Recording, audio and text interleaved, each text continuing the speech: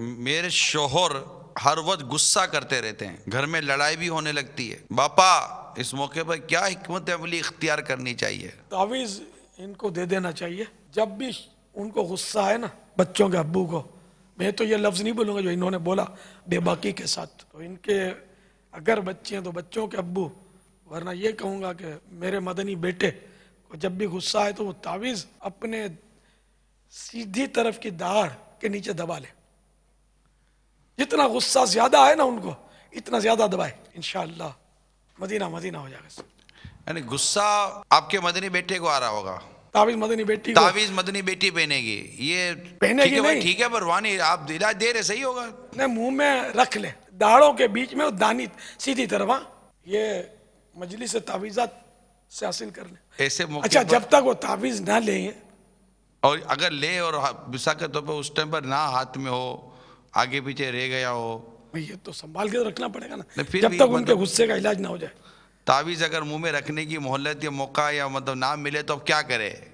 या जब तक तावीज हाथ पे नहीं आता ऐसा तो क्या करे? तस्वुर में सही है तस्वुर में तावीज रख ले। जैसे मैंने तावीज रख लिया है और अब वो दाढ़ों से दबाती रहे। जितना उसको गुस्सा ज़्यादा है वो दाढ़े मिलाती रहे।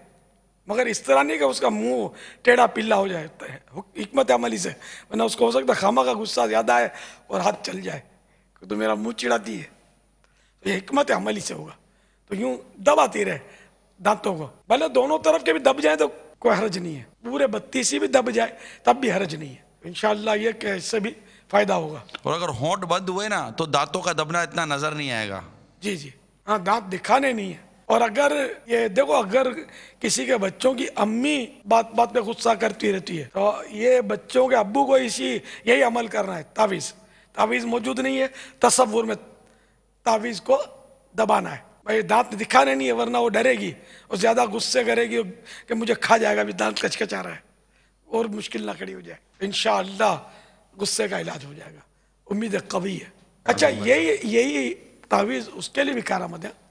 कि जैसे कि किसी की माँ बेटे को ज़्यादा झाड़ती रहती है या बाप झाड़ता रहता है बेटे को तो बेटा भी ये तावीज इस्तेमाल कर सकता है और यही अमल कर सकता है। इस तरह बेटा सताता है बेटी माँ को सताती है या बाप को सताती है तो माँ बाप यही तावीज इस्तेमाल कर सकते हैं। मैंने ऐसा लग रहा ये है मतलब ऑलराउंडर है ये तावीज हर कार है हर काम के लिए। ऐसा लगता है जैसे आप ये जो फरमा रहे ना इसमें जो ये अमल करेगा उसको गोया कि ऐसा लगता है कि जब्त और सब्र भी नसीब हो सकता है। और जो सामने वाला है ना, उसको ठंडक भी मिलेगी मतलब वो भी उसका मिजाज भी ठंडा होता रहेगा। यूँ, ऐसा मतलब मल्टीपर्पज़ तावीज़ हुआ ना आपका तो ये। जी जी। अब इसमें यह है कि दो दोस्तों में भी अगर ऐसा हो ना कि उस दोस्त के बगैर चलती भी ना हो, और दोस्त हो चिड़चिड़ा, बात बात पे वो फटे करता हो तो अगर ये दोस्त वो डाल लेगा ना ताबीज तो इंशाल्लाह मदीना मदीना हो जाए